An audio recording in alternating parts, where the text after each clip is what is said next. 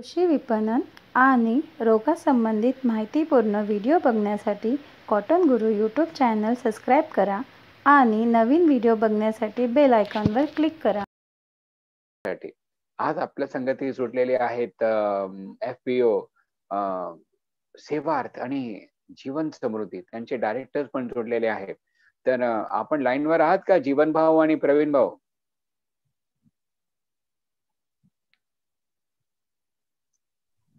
हाँ सर. हा जी.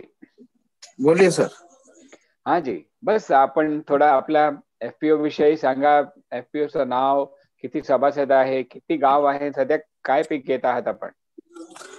सर मी सेवार्थ अॅग्रो प्रोड्युसर कंपनी मधून बोलतो. प्रवीण जयकृष्ण कथलकर. हो जी बोला. तालुका मूर्तिजापूर जिल्हा अकोला. आपल्या सेवार्थ एफपीओ मध्ये सध्या सीड प्रोडक्शन युनिट मसाले प्रोडक्शन आणि डेअरीचं प्रोडक्शन घेतलं जातं. डेअरीचे प्रोडक्ट बनतात.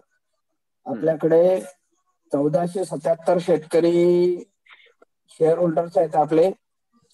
नऊशे त्र्याहत्तर आपले आरओसी वर आहेत. व्हेरी गुड आणि यावर्षी चारशे क्विंटल आपण आरवीजी दोनशे दोन हरभरा आपण हे केलेला आहे. परमिट वरती दिलेला आहे कृषी विभागाला.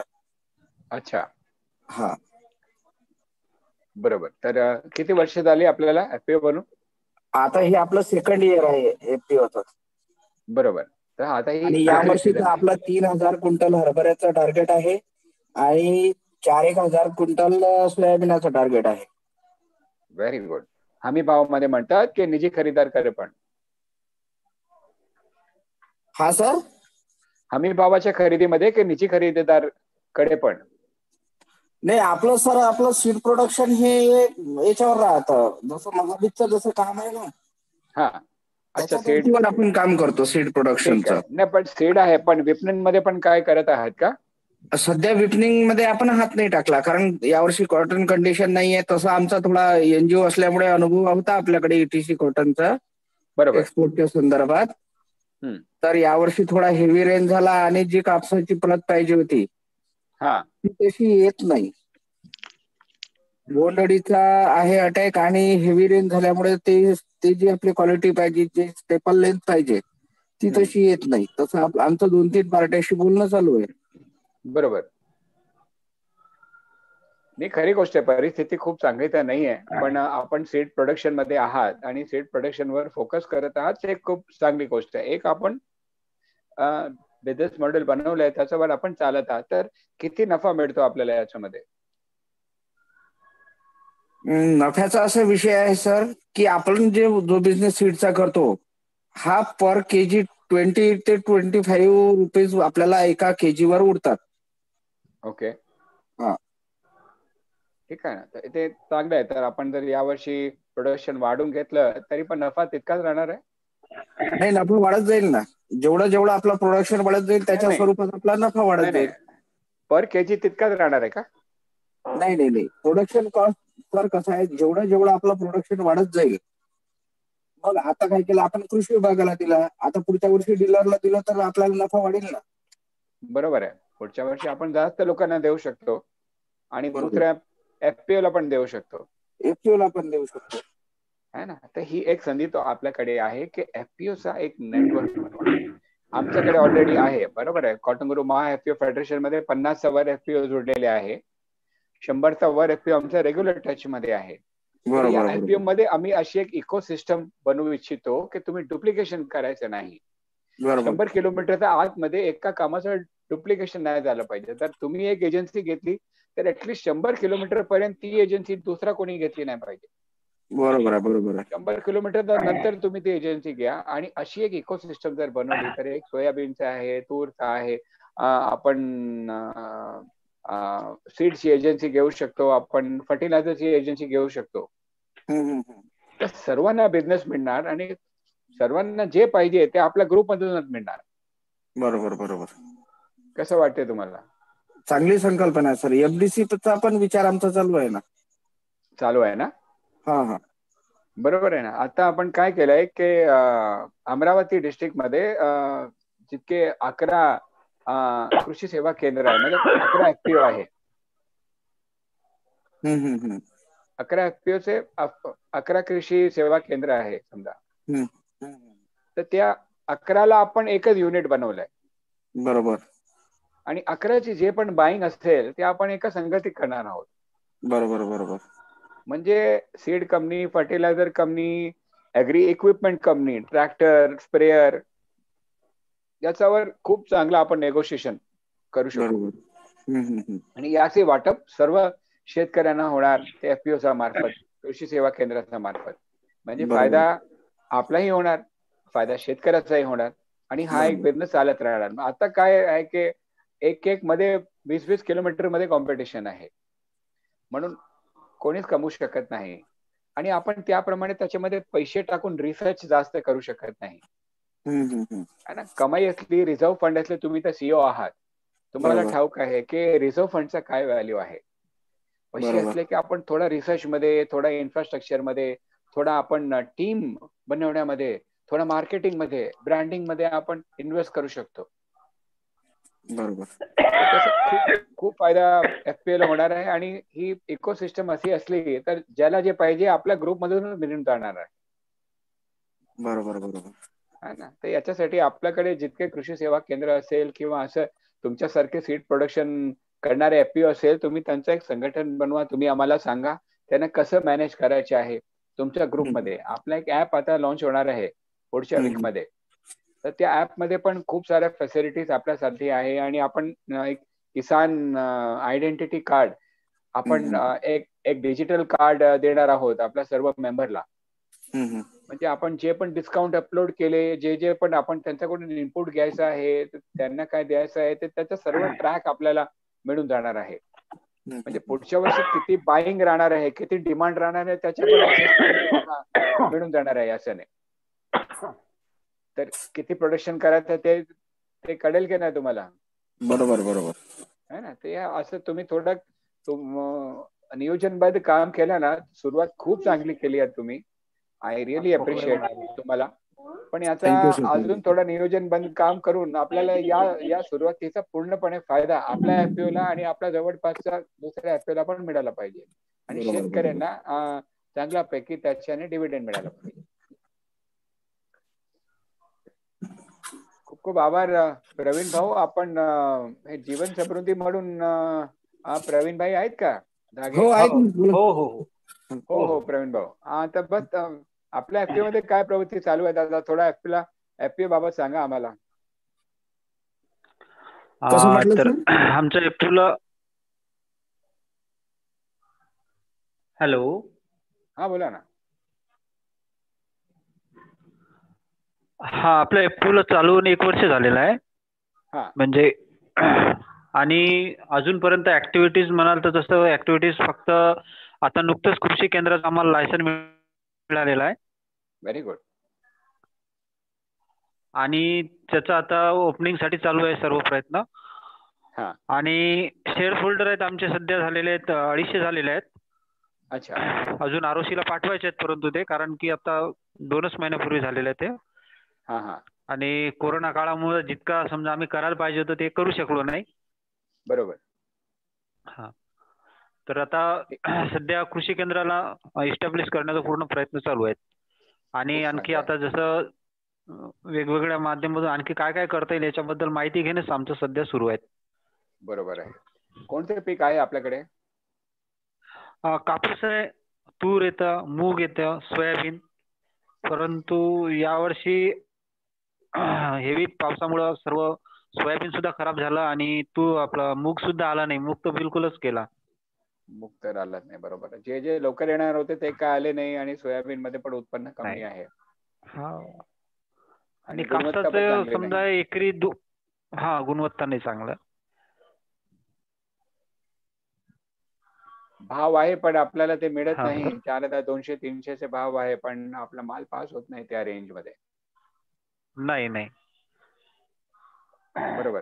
कापसाची काय स्थिती आहे? कापूस तर येणं चालू झालं. नुकतं इतकं मोठ्या प्रमाणात नाही झालं. एक दहा पंधरा टक्के कापूस येणं चालू झालाय. बरोबर. इथला आवरेज जास्त नाही आहे या एरियामध्ये जे हिरपूर आणि परिसरातला आहे. तो एकरी कोरडवाहू जास्त आहे. आणि एकरी तीन पर्यंत. दोन तीन.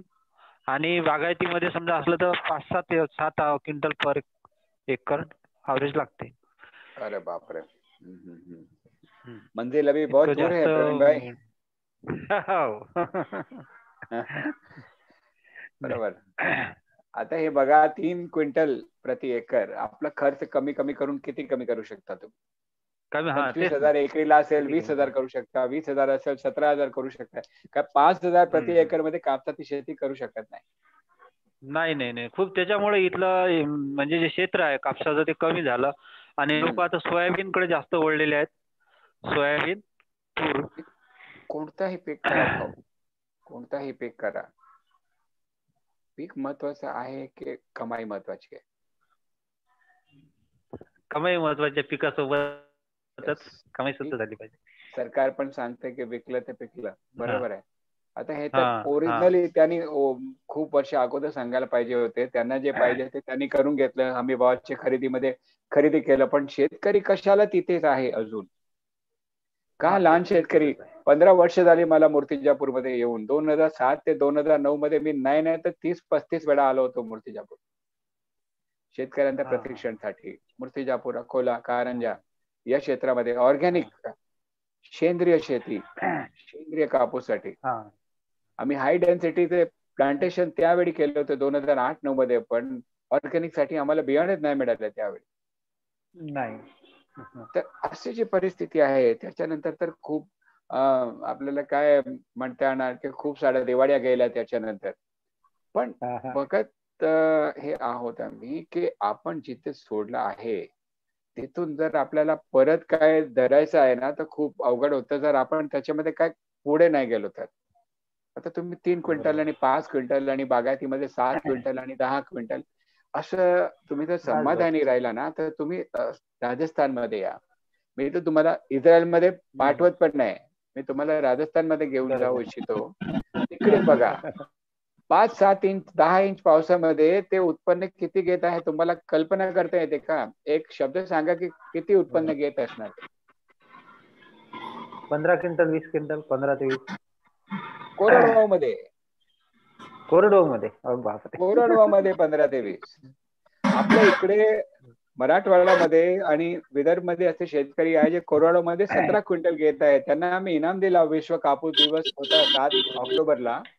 एक मोठा कार्यक्रम झाला आपला कॉटन गुरुचा त्यामध्ये आम्ही त्यांना इनाम दिला. आपल्या मध्येच आहे असे शेतकरी आणि आपल्यामध्ये होते अशी शेती. बागायतीमध्ये तर आपण वीस पंचवीस तीस तर कॉमन आहे. कॉटन गुरुचे प्रदर्शन शेत आहे.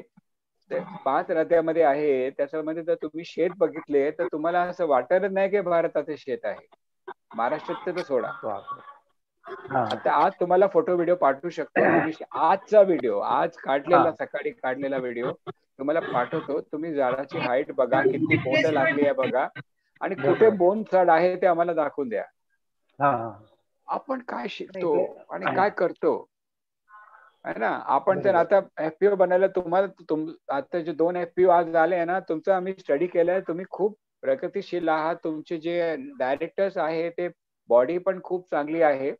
पण आपण कुठे गॅप आहे ना ते तर आयडेंटिफाय केलं पाहिजे. पीक बदलून सोल्युशन होणार नाही. उत्पन्न तर कोणत्याही पिकामध्ये मिळालंच पाहिजे नंबर वन गुणवत्ता राहिलीच पाहिजे आणि विपणनसाठी एक तुमचा सप्लाय चेन सेट झाला पाहिजे. नंबर थ्री हे तीन केल्याशिवाय कोणताही तुमचा पीक किती चांगला असो दुसऱ्यासाठी आपल्यासाठी ते लाभदायक होणार नाही. नाही बरोबर बरोबर. लाभदायक झाला पाहिजे. पिकाने पैसे दिले पाहिजे ना. हॅलो सर मी प्रश्न आहे माझा आहे बोला ना बोला दादा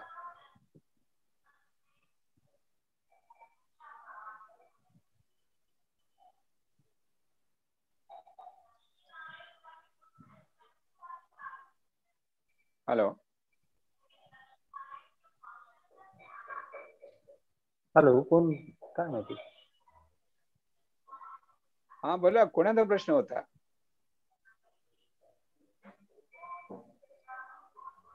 हॅलो अमोल भाऊ? हा अमोल भाऊ आहेत का? प्रश्न प्रश्न कोण विचारला?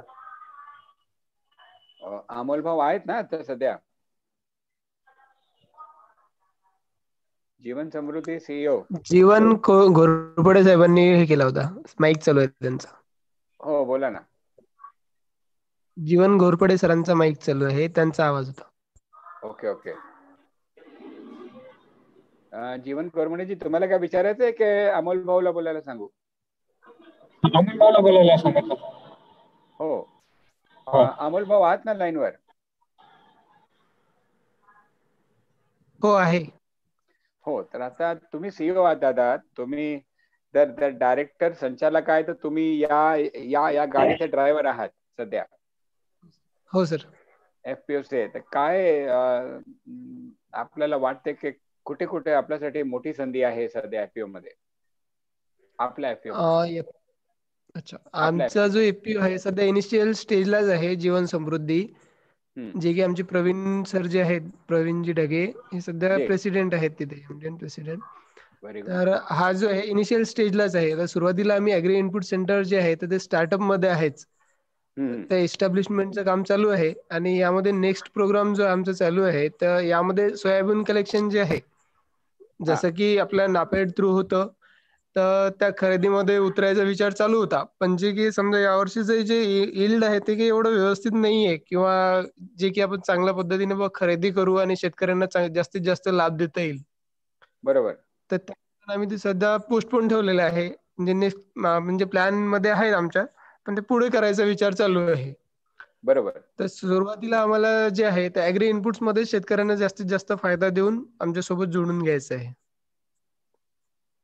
व्हेरी गुड तुम्ही हे ठरवले खूप चांगली गोष्ट आहे. आजचे जे दोघे एफपीओ आहे आपल्याकडे सेवार्थ आणि जीवन समृद्धी त्यांनी हे ठरवलं की अॅग्री इनपुटमध्ये शेतकऱ्यांना इंडिपेंडेंट करायचं आपल्या ग्रुपमध्ये बियाणे डेव्हलप करायचं आणि ते आपण आपल्या शेतकऱ्यांना आणि दुसऱ्या एफपीओला त्याची वाटप करून त्याच्यामधून इन्कम करून घ्यायची. ऍग्रिकल्चर डिपार्टमेंटला ते बियाणे द्यायचं. चांगलं आहे. सुरुवातीसाठी हे चांगलं आहे पण तुम्हाला बारा महिन्याचं जर काम पाहिजे तर अजून थोडा पुढे विचार केला पाहिजे तुला तुम्हाला की या ऍग्री इनपुट जे दुसरे ऍग्री इनपुट आहे खत आहे अजून दुसरे बियाणे आहे दुसऱ्या पिकांची ते पण शेतकरी खरेदी करत आहे. एक एक शेतकरी नाही नाही तर पंधरा ते वीस हजार रुपयांवर जाऊन पंच्याहत्तर हजार रुपयाची खरेदी करत आहे.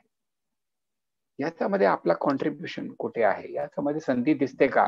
एक हजार पंधराशे दोन दोन हजार पाचशे शेतकरी शेतकरी आपले सभासद आहे.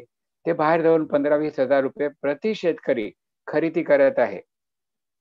आपला एफपीओला त्याच्यामध्ये काय बिझनेस मॉडेल आहे का?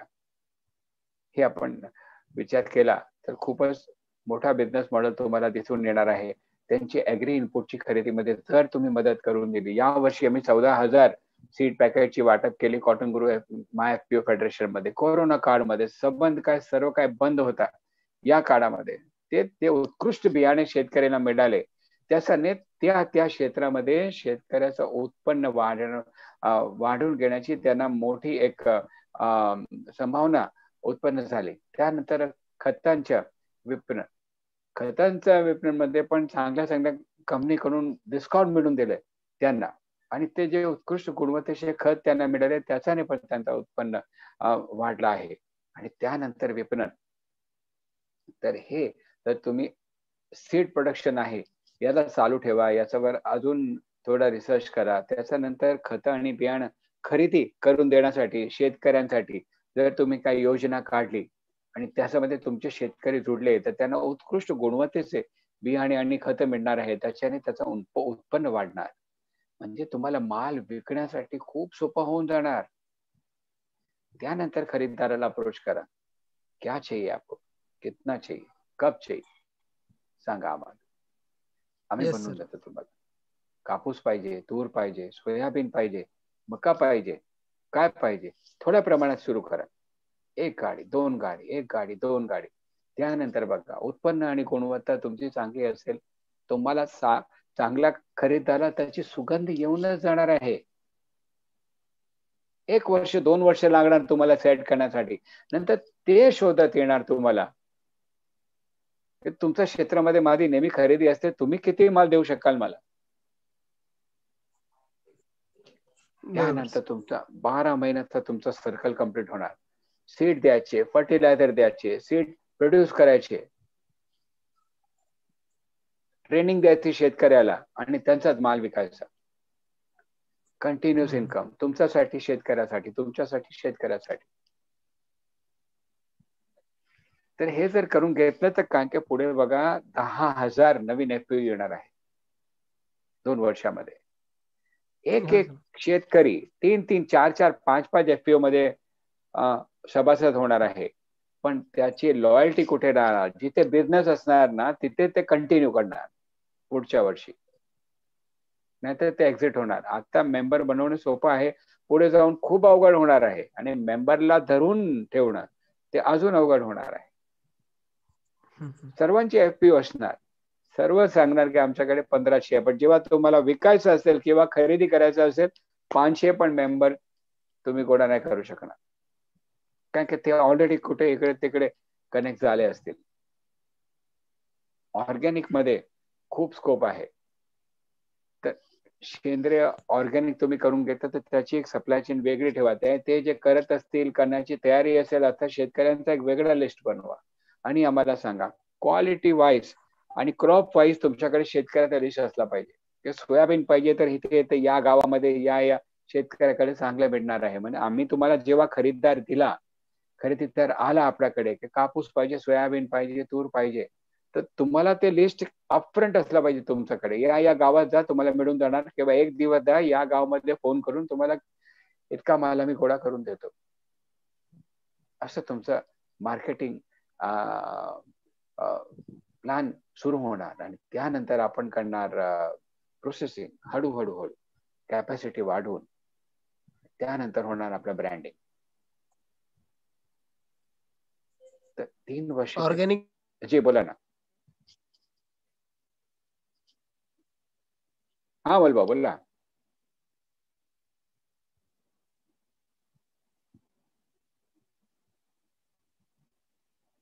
बोला ना।